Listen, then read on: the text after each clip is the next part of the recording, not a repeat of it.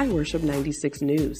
Yesterday, January 25th, Bishop Eddie Long was laid to rest with nearly 10,000 people in attendance. The Atlanta Journal reported that five hours into the service, Bishop Neil C. Ellis delivered the eulogy. Say what you wish.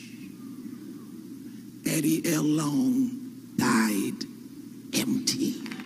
Now that he's come to the end of his journey, and he's gone on to take his well deserved rest, please, people, let him alone now.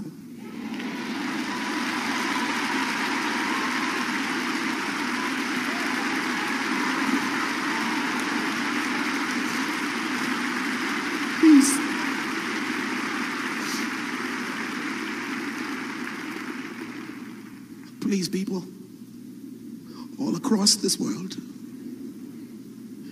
please let my friend rest in peace. This is Tamika Hall for I Worship 96 News.